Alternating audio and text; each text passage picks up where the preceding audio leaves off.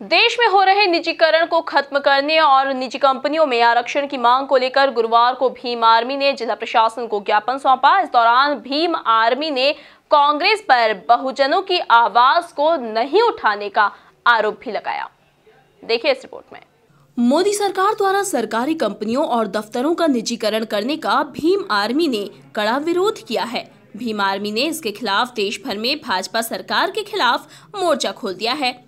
इसी क्रम में इंदौर में भी भीम आर्मी के एक प्रतिनिधि मंडल ने जिला प्रशासन से मुलाकात कर राष्ट्रपति के नाम एक ज्ञापन सौंपा है जिसमें निजीकरण को रोकने और निजी क्षेत्र में भी आरक्षण की प्रक्रिया लागू करने की मांग की गई है।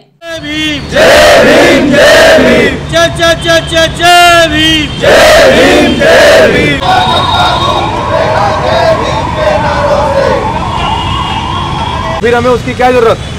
हम फिर ऐसे आदमी को चुनेंगे जो हमारी बात रखेगा। सरकार के सामने। हमारा रिप्रेजेंटेटिव है हमारी बात रखने के लिए हो। और हमारी बात नहीं रखेगा तो हम उसको नहीं चलने देंगे। इस दौरान भीम आर्मी इंदौर के अध्यक्ष विनय यादव अंबेडकर ने कांग्रेस को आड़े हाथों लेते हुए कहा कि वो भी बीजेपी के साथ साजिश में मिली हुई है जिसके कारण आज बहुजनों को अपनी आवाज़ उठाने के लिए सड़कों पर उतरना पड़ रहा है। हम लोग आज निजीकरण जो भारत देश में हो रहा है, अभी भाजपा सरकार इस पर निजीकरण कर रही है, हर डिपार्टमेंट में, सरकारी डिपार्टमेंट में।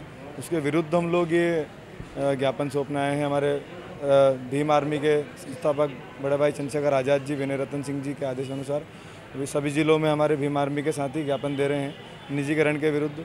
और निजी क्षेत्रों में भी आरक्षण को सुनिश्चित करने के लिए हम लोग ज्ञापन दे रहे हैं। इसमें मुख्य रूप से ये है कि हम लोग आज जो हमारा आरक्षण को निजीकरण के द्वारा रोज़ कुरेद कुरेद के ख़त्म किया जा रहा है। हम वो सोच समझते हैं कि यार हम लोगों को जो, हम लोगों को जो अधिकार बाबा साहब अंबेडकर दे करके गए थे, वो अधिकार हमारे ख़त्म होने जा रहे हैं।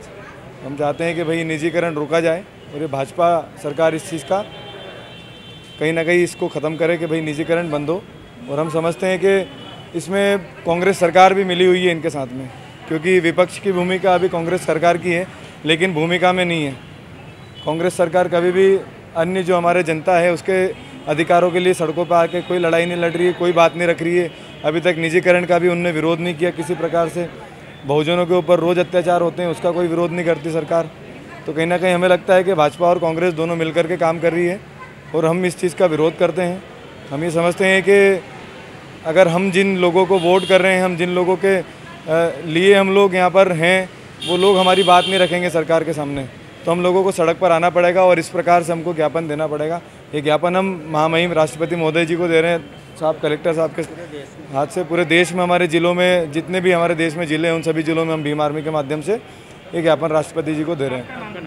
मेरा नाम विनोद यादव अंबेडकर भीम आर्मी इंदौर। बता दें कि विपक्ष हमेशा से मोदी सरकार पर सरकारी नौकरियों और आरक्षण को खत्म करने का आरोप लगाता रहा है। इंदौर से एमपी न्यूज़ के लिए धर्मेंद्र यादव की रिपोर्ट।